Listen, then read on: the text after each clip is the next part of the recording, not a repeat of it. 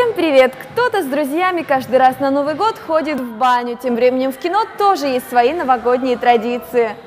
Опа, Дед Мороз. Уже в третий раз в канун Нового года выходит продолжение комедии «Елки». А чего это у вас там? Повестка чего? Как он меня нашел вообще? Нефиг чекиниться, когда от армии косишь. В картине переплетаются разные новогодние истории. Связывает приключения идея о том, что добро возвращается бумерангом. Каждую новеллу ставит отдельный режиссер. Персонажи при этом остаются те же. Например, снова блистают в картине Иван Ургант и Сергей Светлаков.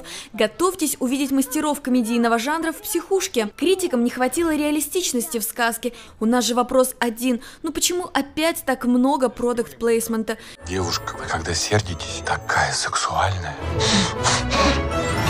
Еще одна новогодняя традиция – новый мультфильм про Ивана Царевича. Анимация выходит уже на этой неделе. Пошла, родимая! В мультфильме «Иван Царевич и Серый Волк 2» показана жизнь после свадьбы главного героя и Василисы Прекрасной.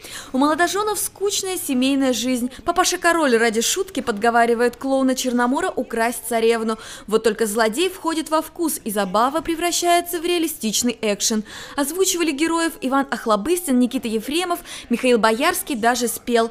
Критики уже поговаривают, что сюжет слабый и затянутый. Картинка местами психоделическая, а шутки плоские. Но ведь это современная история, и такой сказки продолжения мы еще не видели. Поклонникам боевиков тоже приготовили новогодний подарок – остросюжетный фильм «Джек Райан. Теория хаоса». Хочешь быть непослушным?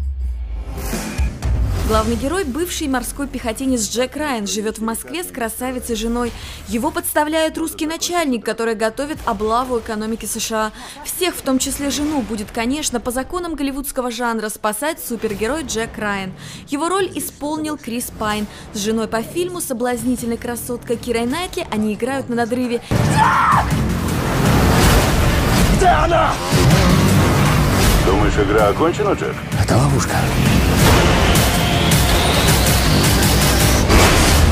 Жалейте времени на хорошие фильмы. Встретимся в новом году. Мы больше не будем, честное слово.